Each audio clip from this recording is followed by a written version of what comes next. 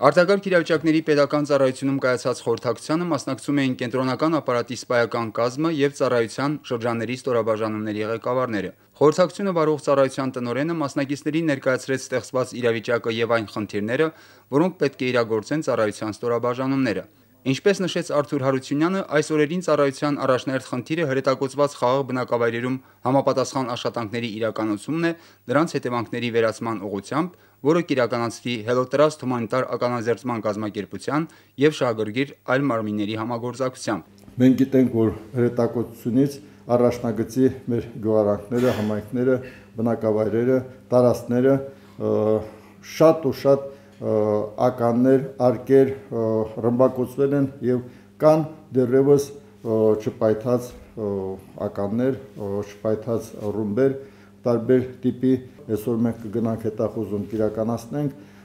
տեղերում այդ մանավանդ Թալիշ, Մադաղիս, Մարտակերտ եւ երկայնքով արդեն այն հիմնական բնակավայրերը, որը որ ռմբակոծության են ենթարկվել։ Նշված աշխատանքներին աջակցելու պատրաստակամություն է հայտնել նաև Հայաստանի արտակարգ իրավիճակների նախարարությունը։ Քանի որ վերջին օրերի ռազմագործողությունների ժամանակ հակառակորդը կիրառել է նաև նոր զինատեսակներ, ուստի ծառայության տնօրենը հորդորեց առավել զգույշ լինել հայտնաբերած զենք զինամթերքի հետ։ Ստանալով համապատասխան հանձնարարականներ, խորհրդակցությունից հետո աշխատանքային խմբերը հիմնականում մեկնեցին Մարտակերտի շրջան։ Առաջինը եղանք Մարտակերտի շրջանի ներքին Հորաթաղ համայնքում, որտեղ հակառակորդի կողմից ինտենսիվ հրետակոծության հետևանքով առկա էր չպայթած զենք զինամթերք։ «Հելոտրաստ» կազմակերպության և արտակարգ իրավիճակների պետական ծառայության փորձառու սակրավորները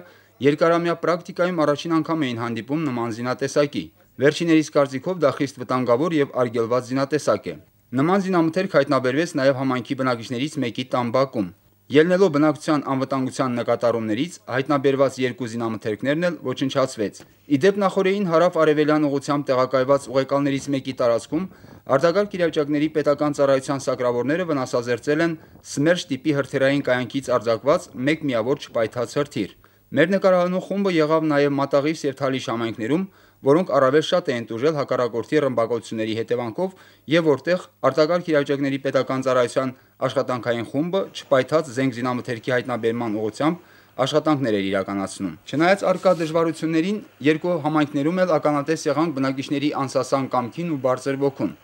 Բոլորն էլ պատրաստակամ են կցվելու հրետակոծությունների հետևանքների արագ վերացմանը և բնականոն կյանքի վերադառնալուն, օր առաջ վերականգնելու և շենացնելու հող հայրենին։ Օգտվելով առիթից կրկին դիմում ենք մեր բնակչությանը և հիշեցնում.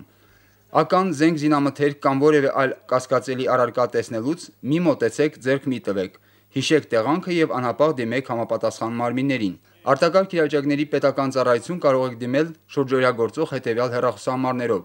047 94 09 11, 047 39 11։ Գործում է նաև բջջային անվճար հեռախոսակապ 911 112 համարներով։ Արտակարգ իրավիճակների պետական ծառայության տեղեկատվության և հասարակայնության հետ կապերի բաժին՝ օր ծրագրի համար։